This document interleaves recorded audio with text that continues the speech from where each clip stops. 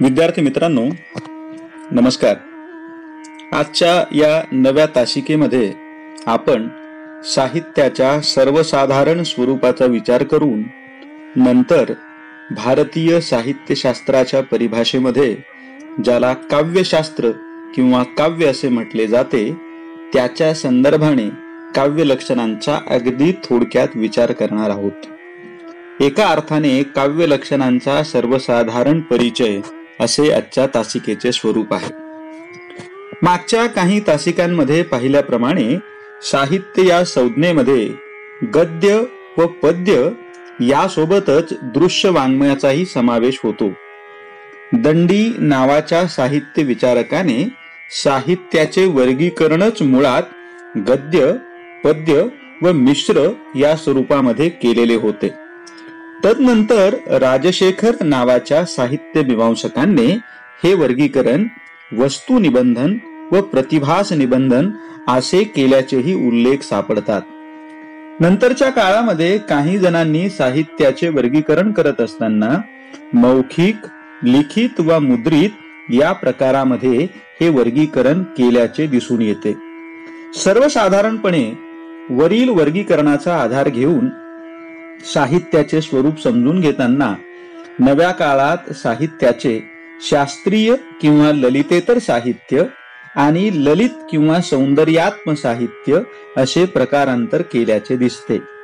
आपण या वर्षीच्या अभ्यास पत्रिकेमध्ये ज्याचा विचार करतो आहोत ते ललित साहित्य आहे याची तुम्हाला कल्पना आहेच.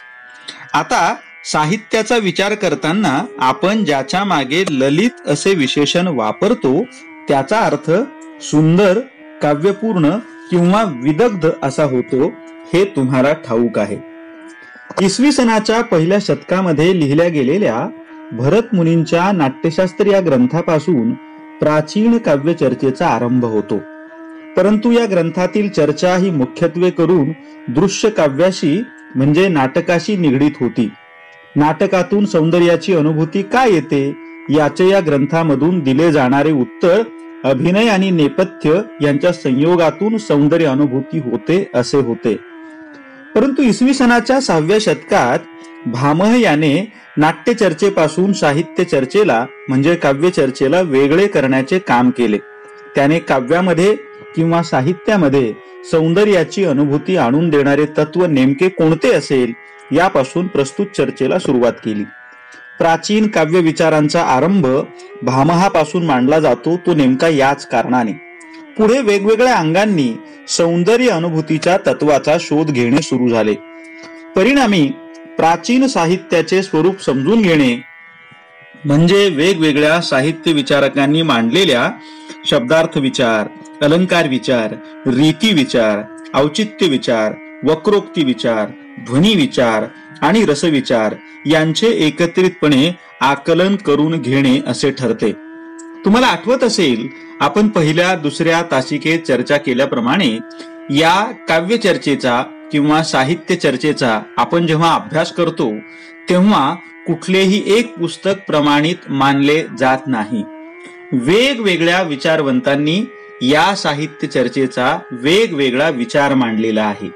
परिणामी आपण या वेगवेगळ्या संदर्भ ग्रंथाच्या आधाराने आपला साहित्य विचार किंवा साहित्याचे स्वरूप समजून घेण्याचा प्रयत्न करतो आहोत. सगळ्यात सुरुवातीला शब्दार्थ विचार. साहित्य ही एक ललित कला आहे. प्रत्येक कलेचे एक माध्यम असते तसे शब्द हे साहित्य कलेचे माध्यम आहे.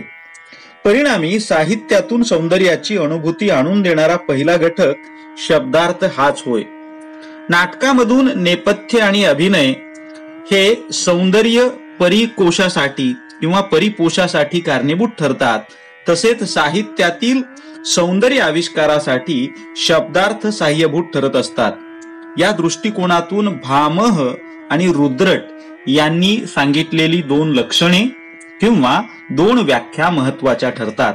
भामहाची व्याख्या शब्दार्थो सहितो काव्यम. मी पुन्हा एकदा ही व्याख्या आवृत्त करतो. शब्दार्थो सहितो काव्यम. याचा काय आपणाला अर्थ काय काढता येईल आता? तर शब्द आणि अर्थ यांच्या सहितत्वातून काव्य जन्माला येते असा त्यांच्या या व्याख्येचा अर्थ होय. तर रुद्रट यांची व्याख्या ननु शब्दार्थो काव्यम. म्हणजे काय? तर खरोखरच शब्द आणि अर्थ हे जेव्हा एकत्र येतात तेव्हा काव्य जन्माला येते. म्हणजे भामहाने जे मांडले त्याला एका दृष्टीने अनुमोदन देण्याचे काम रुद्रटाच्या या काव्य लक्षणाने केलेले आहे. अर्थात ज्या शब्दांचा विचार इथे केला आहे ते शब्द शक्ती धारण केलेले असतात. अभिधा लक्षणा व्यंजना या शब्द शक्तीमधून वाच्यार्थ लक्षार्थ व्यंग्यार्थ असे शब्द आणि शब्दाचे एकरूपत्व ललित साहित्यामधील शब्दांमध्ये सामावलेले असते. यातूनच अशा शब्दांमध्ये मंत्राक्षर सामर्थ्य येते असे संस्कृत मीमांसकांचे मत आहे. आपण पुढच्या विचाराकडे वळूया. तो विचार आहे अलंकार विचार. शब्द आणि अर्थ यांच्या सही तत्वातून सौंदर्याची निर्मिती होते. असा विचार मांडून झाल्यानंतर पुढील काळात त्याला अधिक पुढे नेण्याचे काम वेगवेगळ्या मीमांसकांनी केले. शक्ती धारण केलेले शब्द आणि अर्थ एकरूप झाले म्हणजे सौंदर्य निर्मिती होते हे खरेच. परंतु ही सौंदर्य निर्मिती बाह्य आणि आंतरिक अशा दोन्ही स्वरूपाची असते. आणि त्यासाठी अलंकार हे कारण ठरतात हे सांगणारा विचार म्हणजे वामनाचा अलंकार विचार होय. त्याने केलेले काव्यलक्षण किंवा सांगितलेली व्याख्या पुढील प्रमाणे काव्यम ग्राह्यम अलंकार सौंदर्यम अलंकार. याचा अर्थ असा आहे की काव्याचे किंवा साहित्याचे सौंदर्य वाढविण्याचे किंवा खुलविण्याचे काम अलंकारामुळे होत असते. म्हणजेच ललित साहित्यातील सौंदर्य निर्मितीसाठी अलंकार हे महत्त्वाचे कारण ठरतात. अलंकार म्हणजे शब्दालंकार व अर्थालंकार हे आपण लक्षात घ्यायला हवे. पुढचा विचार हा रीती विचार मानला जातो. रीती ही संस्कृत साहित्य विचारातील अत्यंत महत्वाची संकल्पना आहे. रीती ही संकल्पना वामनाने वापरली. साहित्यातील सौंदर्य तत्वाचे स्पष्टीकरण करत असताना त्याने या संकल्पनेचा उपयोग केलेला आहे. रीती रात्मा काव्यस्य विशिष्ट पदरचना रीती. म्हणजे वामनाने रीती हे काव्याचे प्राणतत्व मानले आहे. रीती म्हणजे काय? तर शब्दांची विशिष्ट पद्धतीने केलेली रचना. शब्द म्हणजे नुसते शब्द नव्हे तर प्रसाद माधुर्य ओज यांनी युक्त असलेले शब्द ज्यासाठी गुणयुक्त शब्द अशी संज्ञा वापरली जाते. अशा गुणयुक्त शब्दांच्या विशिष्ट रचनेतून रीती साकारली जाते आणि त्यातून सौंदर्याची अनुभूती येते असे त्याचे म्हणणे आहे. स्वाभाविकच त्याने रीती हे सौंदर्य सिद्धीचे तत्व मानलेले आहे. नंतर आलेल्या वेगवेगळ्या मीमांसकांनी वामनाच्या रीती विचाराला पुढे नेण्याचे काम केलेले आहे. आपण पुढचा विचार समजून घेऊया. तो आहे औचित्य विचार. अकराव्या शतकातील क्षेमेंद्राने काव्यामधील सौंदर्याचे तत्व म्हणून औचित्य विचार मांडला. औचित्य म्हणजे काय? तर उचित आशय उचित पद्धतीने सांगण्याचा मार्ग होय. यामुळे वामनाच्या रीती विचाराचे काहीसे विकसित रूप म्हणजे औचित्य विचार असेही काहींनी म्हटलेले आहे. क्षेमेंद्राने काय म्हटले बघा? त्याची व्याख्या किंवा काव्यलक्षण औचितस्य रसजीवित भूतस्य मी पुन्हा एकदा हे आवृत्त करतो. अवचितस्य रसजीवित भूतस्य याचा सरळ साधा अर्थ आहे काव्य किंवा साहित्यातील सौंदर्य अथवा रसाचे जीवित तत्व म्हणजे औचित्य होय.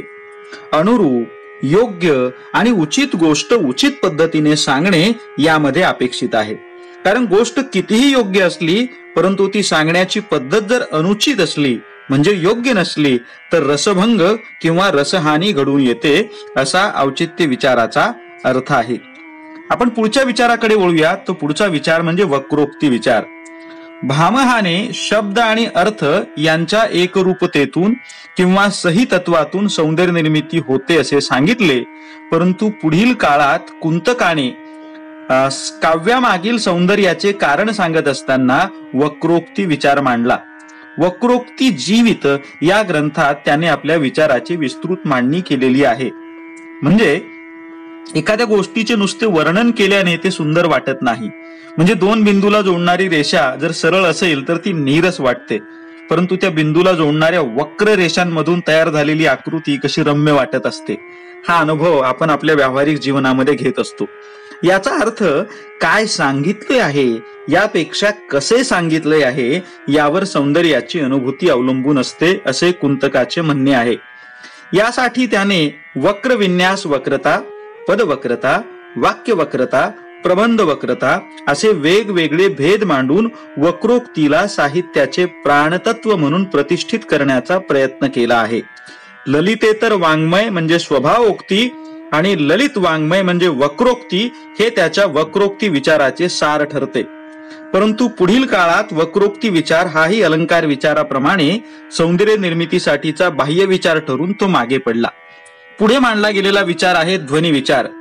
संस्कृत साहित्य शास्त्रात ध्वनी ही अतिशय महत्वाची संकल्पना आहे.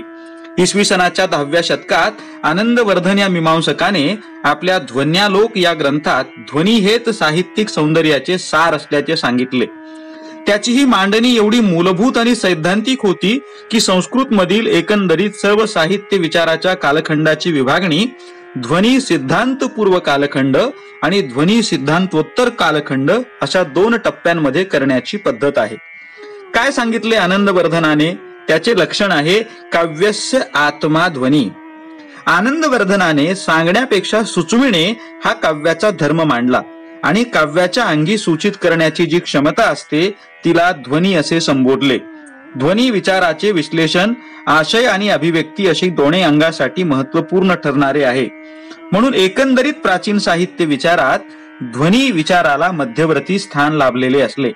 तरी पुढील काळात ध्वनी विचार याची जी मान्यता होती ती मान्यता कमी होत गेली. आणि ध्वन्यार्थ हे केवळ साहित्यिक भाषेचे वैशिष्ट्य आहे असे मानले जाऊ लागले. व्यावहारिक भाषेत देखील अनेक अर्थता आढळत असते. तसेच प्रत्येक कवितेमध्ये देखील ध्वन्यार्थ असतो तसे नाही असे मानल्याने ध्वनी विचार हा काहीसा मागे पडला. आणि यानंतर एकंदरीत भारतीय साहित्य विचारामध्ये अतिशय मूलभूत मानला जाणारा विचार म्हणजे रसविचार. या रसविचाराचा नंतर आपणाला अत्यंत विस्तृत व सखोल पद्धतीने अभ्यास करायचा आहे. आता तो आपण अगदी थोडक्यात समजून घेऊ. रसविचार. ललित साहित्यातून सौंदर्य अनुभूती काय येते? याची उकल शोधणारा सर्वात महत्त्वाचा विचार म्हणजे रसविचार होय. खरे तर नाटकामधून रसनिर्मिती कशी होते हे सांगण्यासाठी भरत मुनींनी इसवी सनाच्या पहिल्या शतकात नाट्यशास्त्र या ग्रंथातून रसविचार पहिल्यांदा मांडला. पण पुढील काळात नाटकाशिवाय अन्य साहित्यालाही तो लागू करण्याचा प्रयत्न झाला. अभिनव गुप्त या मीमांसकाने अभिनव भारती या ग्रंथामध्ये हा जो रसविचार आहे हा रसविचार अत्यंत शास्त्रशुद्ध पद्धतीने मांडण्याचा प्रयत्न केलेला आहे. भरत मुनींचे रससूत्र जे आपणाला नंतर विस्ताराने शिकायचे आहे ते नेमके असे विभावा नुभाव व्यभिचारी संयोगात रस निष्पत्ती याचा अर्थ विभाव अनुभाव आणि संचारी तसेच व्यभिचारी भाव यांच्या संयोगातून रसनिष्पत्ती किंवा सौंदर्य निष्पत्ती होते असा याचा अर्थ आहे. विद्यार्थी मित्रांनो आपण आज जी चर्चा केली आहे ती अतिशय सर्वसाधारण चर्चा आहे किंवा परिचयात्मक चर्चा आहे. तुम्हाला भारतीय साहित्य विचाराचा किंवा भारतीय काव्यलक्षण विचाराचा अगदी सर्वसाधारण परिचय व्हावा म्हणून सोप्या भाषेमध्ये तो तुमच्यासमोर उलगडून दाखवण्याचा प्रयत्न केला आहे. पुढच्या तासिकेमध्ये मात्र आपणाला हळूहळू भारतीय साहित्य विचाराच्या काहीशा अवघड असणाऱ्या खोल डोहामध्ये उतरण्याचे काम करावे लागेल. ते निसंशयपणाने तुमच्या मदतीने करता येणे शक्य आहे. म्हणून पुढच्या तासिकेत आपण या चर्चेला थोडस अधिक सखोल रूप देण्याचा प्रयत्न करू. धन्यवाद. आभार.